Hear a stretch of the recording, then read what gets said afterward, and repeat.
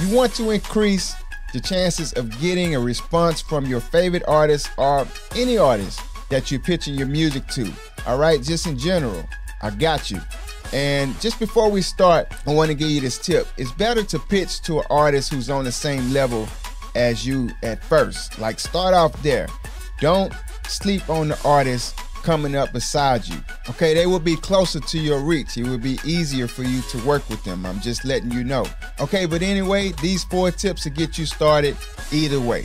Number one, make sure the beat and song fits the artist. All right, when you go to the shoe store and the gentleman that's helping you out, he's not going to bring you a shoe that doesn't fit. Even if you don't tell him your shoe size, if he's been doing this for a while and he has experience, he can look at your feet and tell the size of your shoe, the shoe that you need, or he can get close to it. Why? Because he's just not trying to sell you something. He's investing in the whole process of connecting with you and giving you the best service possible, giving you what you want. He may even look at the styles of the shoes you're wearing and know what kind of shoe you want.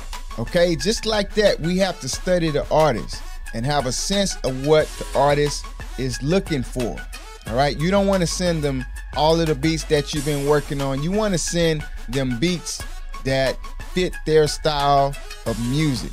Unless, of course, they ask for something different. Other than that, stick to what you know they, they like, you know? Depending on the artist you're working with, this will determine the play that you have to run.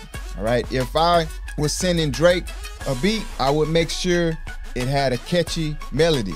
All right. If I was sending J. Cole a beat, I would most definitely make sure he can still he could tell a story on on that on top of that beat, man. I would make sure of that. All right, on and on. Study the artist you're looking to pitch your beats to and listen to the different elements and instruments they use in their music. Put your own touch on it. Don't copy it to a T, but definitely get in the same world they are in. All right?